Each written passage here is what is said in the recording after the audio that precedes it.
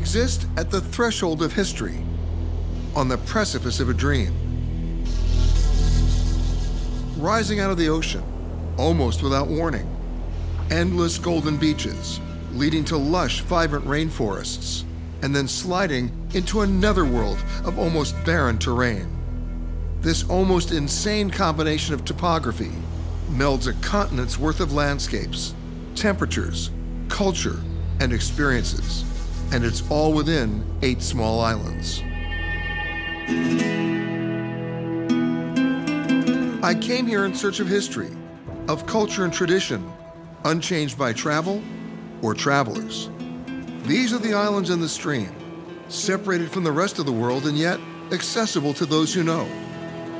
And a destination where you can explore, immerse, and literally breathe, if Mother Nature lets you. I'm Peter Greenberg, and this is Hidden Canary Islands.